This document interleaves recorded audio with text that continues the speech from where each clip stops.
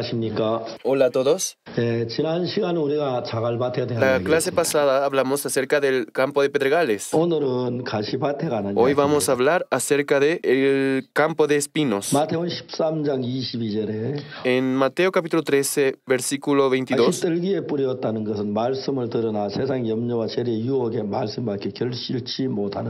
El que fue sembrado entre espinos, este es el que oye la palabra, pero el afán de este siglo y el engaño de las riquezas ahogan la palabra y se hace infructuosa.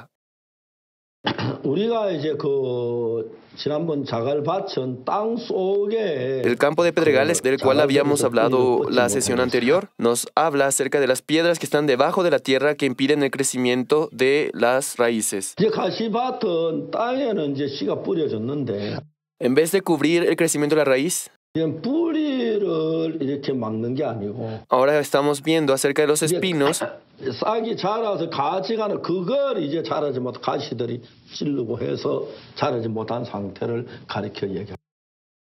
Que cuando la semilla brota y empieza a crecer la rama, la asfixia para que no pueda seguir creciendo.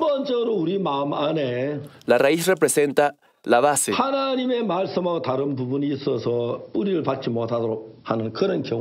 Eso sucede porque hay otros corazones distintos al de Dios que impiden el crecimiento de la raíz. Ya sea los deseos 내가 잘났다 이런 근본적인 거 내 마음 밖에 o la 있습니다. autoconfianza, ese tipo de cosas hay en el campo de 근데 sembradío. 우리는 근본적인 거 말고 이제 뿌리가 바깥에서 이제 싹이 나서 이제 자라는데 Cuando la semilla empieza a brotar y empieza a crecer, 우리가 이제 생활하는데 이제 그런 것들이 나를 누르고 막 삶 속에 염려와 근심을 este tipo de cosas en nuestro entorno crecen y nos presionan, trayendo sufrimiento y dificultad. 이제 제가 그 Haciendo la vida y creencia con Jesús, 내가 이제 그 신앙생활 시작하면서 뭐 주를 위해서 기도를 하고 싶다, 전도를 하고 싶다, 뭐 성경 읽고 싶다, 또 이렇게 복음 전도 여행을 하고 싶다 이런 많은 생각들이 일어납니다. en mi corazón surge mucho deseo de salir a compartir el Evangelio, salir como misionero a compartir la palabra y muchos corazones como estos. 제가 1976년에 선교학교를 시작했는데 En 1976 yo ingresé al seminario. En mi corazón había mucho deseo por ser seminarista. Yo quería ser seminarista. No sabía cómo debía hacer con mi escuela. Ya que el Evangelio me parecía muy bueno. Sabía que había un límite en que yo compartiera el Evangelio solo, por mi cuenta. En mi corazón surgió el deseo de que en todo el mundo se llenara de misioneros que anunciaran el Evangelio.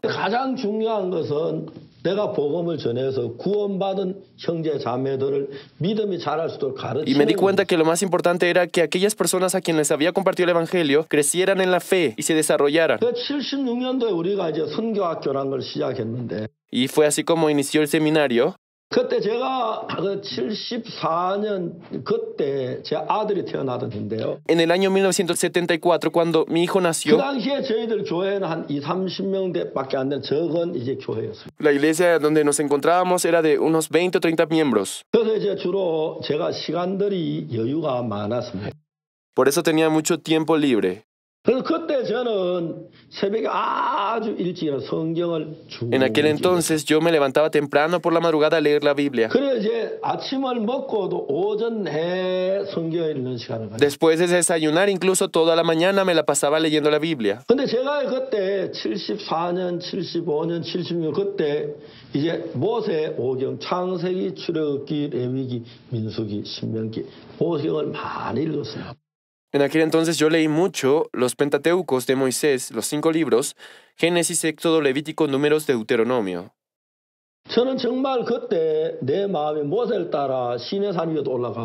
En mi corazón yo imaginaba que seguía a Moisés hasta el monte Sinaí.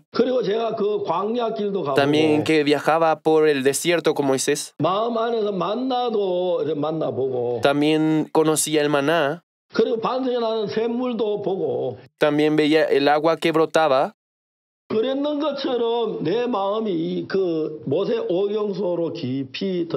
pude tener la oportunidad de que mi corazón se adentrara en los cinco libros del Pentateuco de Moisés. Y Dios me permitió mucha gracia. Después de eso yo daba muchas conferencias, estudios de Génesis y me gustaba darlo.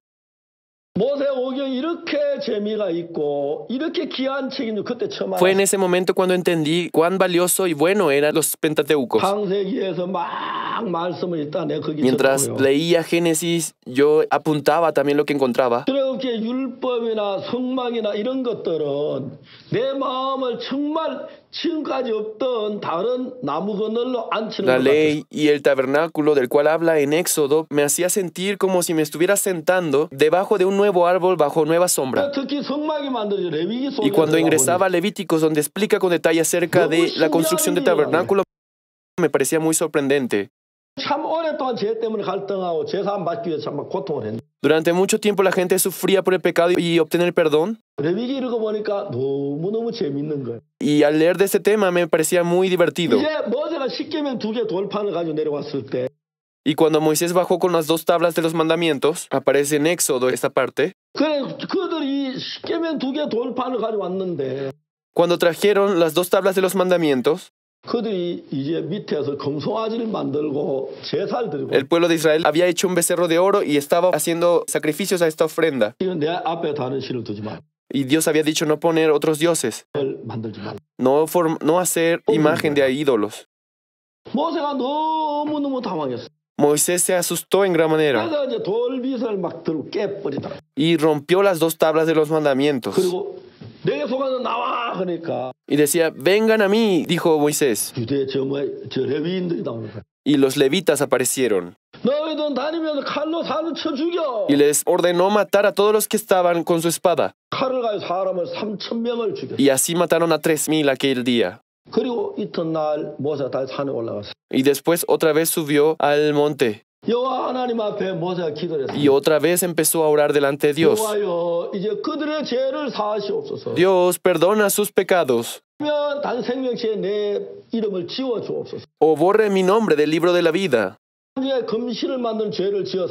Ellos cometieron el pecado de haber hecho un becerro de oro.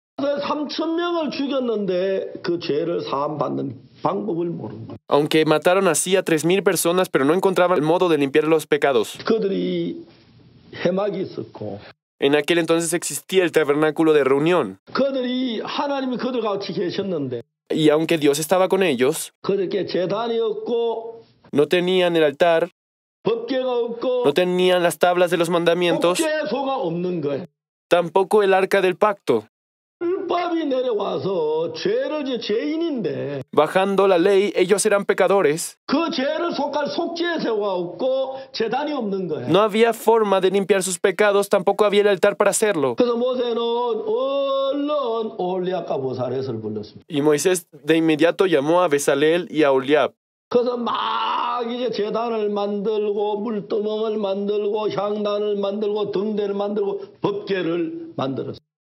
Y fue así como hicieron el altar del holocausto, la fuente de bronce, el altar del incienso. Y después de construir todo esto, y empezaron a llamar a todas las personas que cometieron pecado. Vengan para acá. Y a través del sacrificio de la oveja y derramando su sangre y pintándolo en el altar, se limpiaba sus pecados. Oh, mi padre. Si en ese tiempo de mi padre hubiera existido el tabernáculo, el altar del holocausto, mi padre no habría muerto. Ellos cometieron el pecado de hacer el becerro de oro. Y podían terminar con su pecado con el sacrificio de un cordero. Pero como no lo había, aunque existía, pero como lo desconocían, pudieron darse cuenta que la gente moría de ese modo.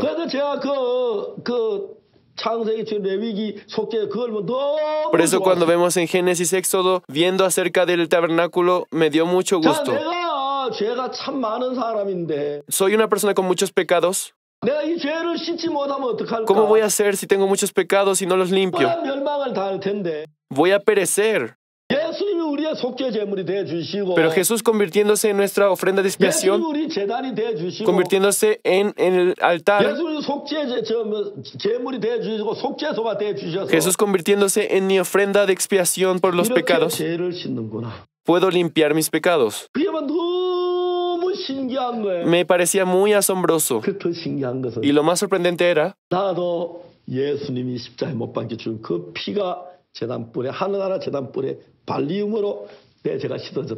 que la sangre de Jesús que derramó en la cruz por nosotros pintó nuestros pecados en el altar del holocausto que está en el reino de los cielos.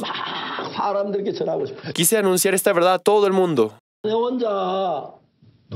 Pero sé que es difícil por hacerlo solo. Enseñándole esto a la gente, quería anunciar esto a todos ellos. También imprimiendo libros, levantando medios de comunicación, enviando misioneros. Estaba muy feliz al imaginar cómo el Evangelio se anunciaba por todo el mundo. Y cuando intentaba hacer eso, 2층 조그만 방에 시작한 작은 예배당. yo estaba en un pequeño salón de un segundo piso que era de la iglesia. 학교를 어떻게 해요? ¿Cómo hago con la escuela?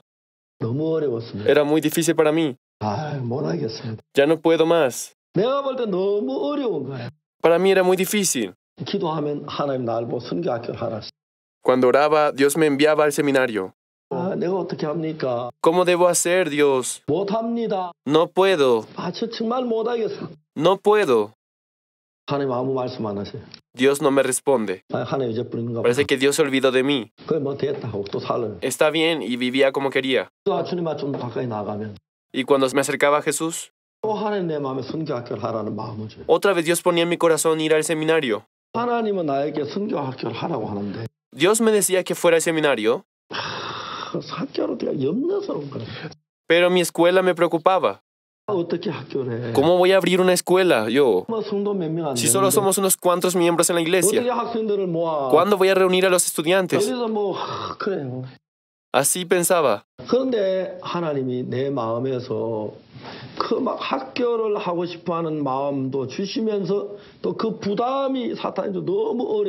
Aunque Dios ponía en mi corazón el deseo de levantar la escuela, pero Satanás también ponía carga en mi corazón para que no pudiera abrirlo. Y así pensando, un día decidí empezar. Y les mencioné a los hermanos de la iglesia que voy a abrir una escuela bíblica. La gente se asustaba. ¿Qué es la escuela bíblica? ¿Qué se hace? ¿Dónde comen? ¿Dónde duermen? Aquí comen, aquí duermen. Usted también padece hambre. ¿Qué les va a dar de comer a los estudiantes? Los hermanos eran muy realistas al decirme eso. Pero yo no hice esto porque yo tenía lo suficiente para hacerlo. Yo también en ese tiempo ayunaba y me era difícil muchas veces. Y fue de ese modo como empezamos la escuela bíblica. Y dos estudiantes universitarios y tres jóvenes participaron cinco en total. Y cuando empezaba, la puerta de abajo se abría y la gente subía.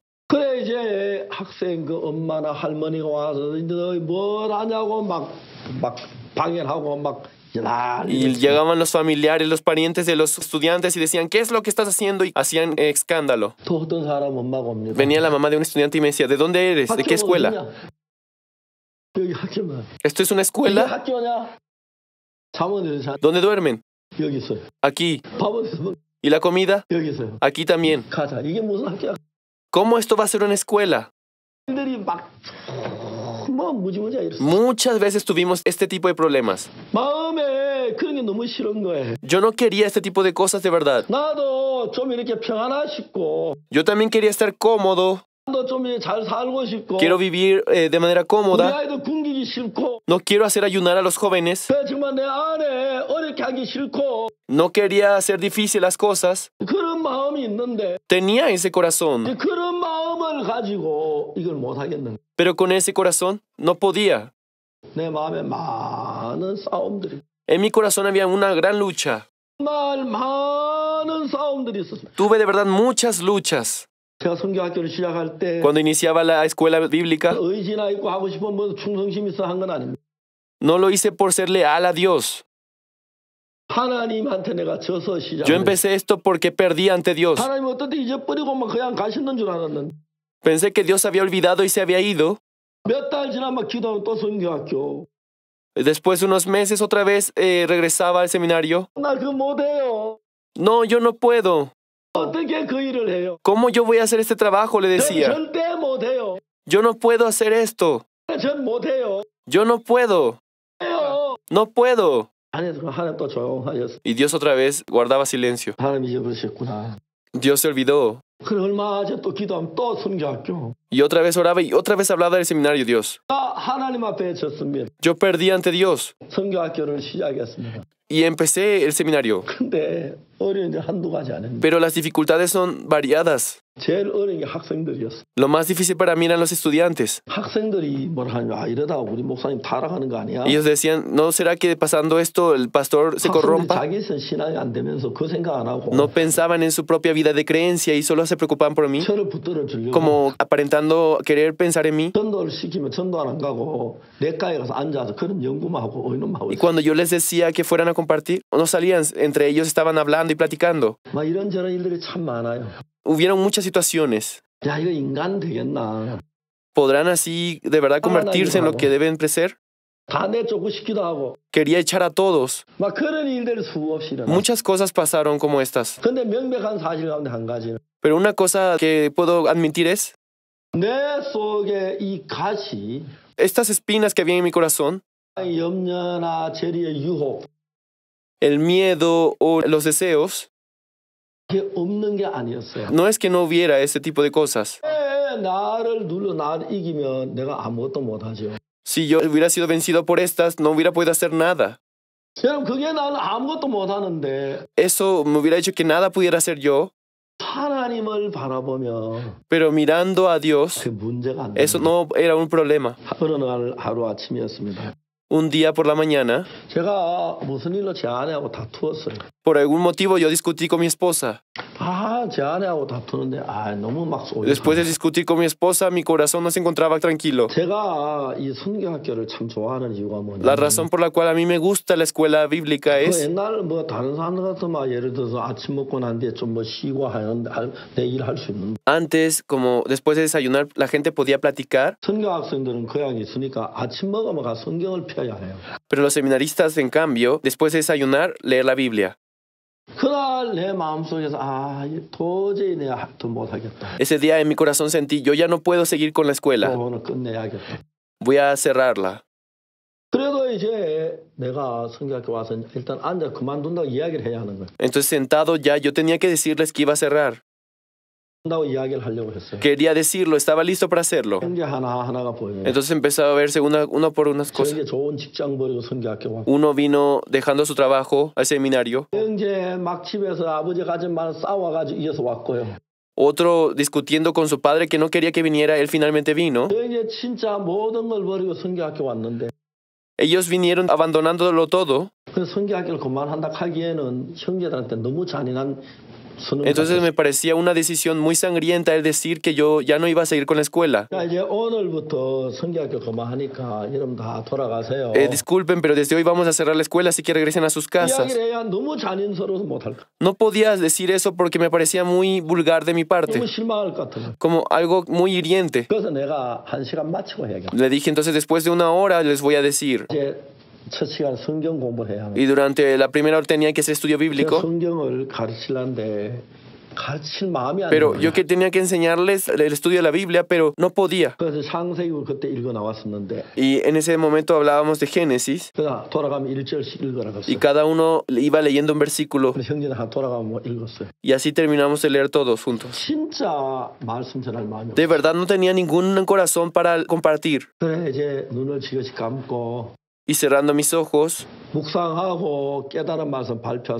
y el pastor decía que expusiera el que entendió algo de la lectura.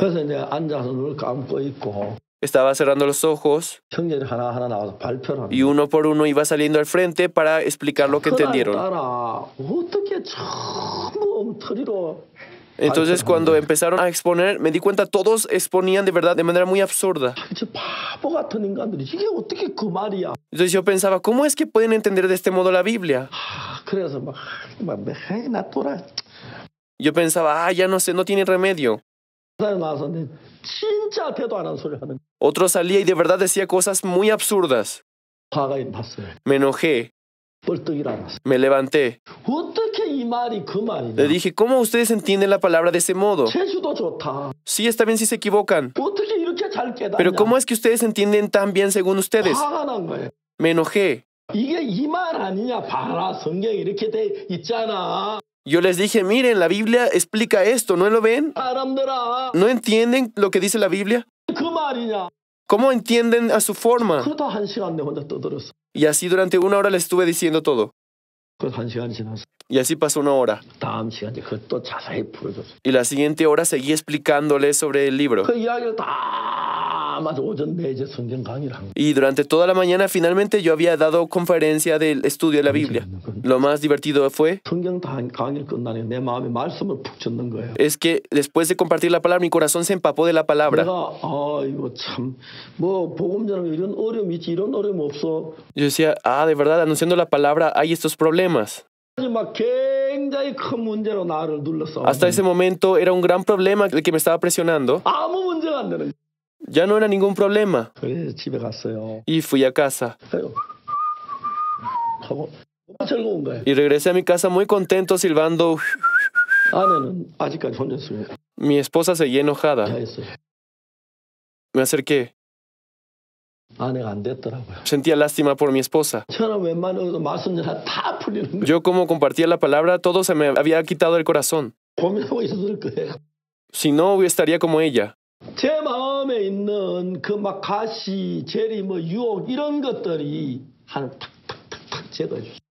Dios iba quitando cada espina de mis pensamientos y deseos de mi corazón. Ustedes también como si fueran plantas sembradas en espinos. El corazón está lleno de ideas que dicen será posible o no será posible. Pero cuando entramos dentro de la raíz, puede uno vivir. 근데 어, 가시, 어, 가시, 가시, 가시, 지금 가시, 아유 찔기다. 아, 우, 우. Pero cuando estamos dentro de los espinos, no podemos hacer nada. Por todos lados hay espinas. 진짜 이것도 문제, 저것도 문제, 이건 가시, 이거는 탱자나무 가시, 이건 아가시, 전부 어려움만 보여요. Todos son problemas, dificultades, espinas de maldad, espinas de problemas nos rodean. 근데 pero Dios dijo que iba a enviar a sus discípulos entre lobos rapaces. Entonces Dios nos va a dar también la fuerza para superarlo. Él dijo que iba a enviar a sus ovejas en medio de lobos. Dios por amar a los lobos. Dios dice, ah, envío para ti ovejas, lobo, cómetelo bien. ¿Así nos enviaría a nosotros entre lobos? Jesús dice, pon atención. Ves muchos lobos, ¿verdad? Ve una oveja para allá. Vamos a ver quién gana. ¿Viste que la oveja fue en medio de lobos? Claro, la oveja debe morir, ¿verdad? Eh, la oveja tiene que ser comida de lobos. Lo único que debe quedar de las ovejas son huesos. ¿Pero qué pasa? ¿Qué pasa? ¿Ves? Los lobos mueren. Se escapan. Eh, la oveja queda viva. Mira. Saúl quiso matar a David, ¿verdad? Saúl parecía el lobo, David parecía oveja. Mira a ver quién muere, Saúl o David. Parece que David va a morir, ¿verdad? Pero mira bien, mira bien con atención. Pero no muere David. No muere. ¿Ves? ¿Ves? Mira otra vez, ¿muere el lobo o la oveja? ¿Quién ganó, la oveja o el lobo? Todo se ve. Entonces, si vamos entre espinos, hay espinos. Pero Jesús hará todo conforme a su plan. Yo creo. Jesús usó la corona de espinas. ¿Sabes por qué usó corona de espinas? En Génesis dice, después de que Adán cometió el pecado, Dios le dijo que de la tierra le daría frutos de espinos y cardos.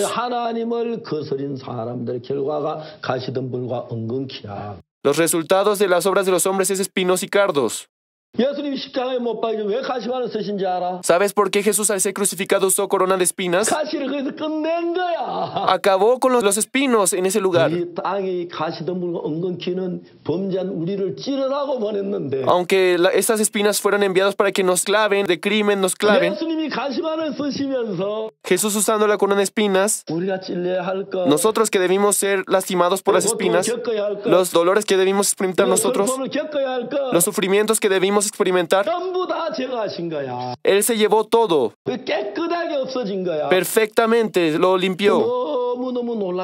Es por eso muy asombroso cómo terminó. Eso es lo que quiere decir. Cuán sorprendente es. Por eso Jesús hizo para que podamos vencer los espinos. Aunque nos da miedo los espinos que están frente a nosotros, Jesús tomó estos espinos y sufrió todo en la cruz. Jesús ya lo terminó todo se sienten agradecidos, ¿verdad? Dios ya nos permitió vivir lleno de bendiciones. Jesús ya preparó todo para que la semilla en nuestro corazón crezca bien. No saben cuán agradecido me siento. Siento mucha bendición por poder servir al Evangelio dentro de Cristo. Muchas gracias. Nos vemos en la siguiente sesión. Hasta luego.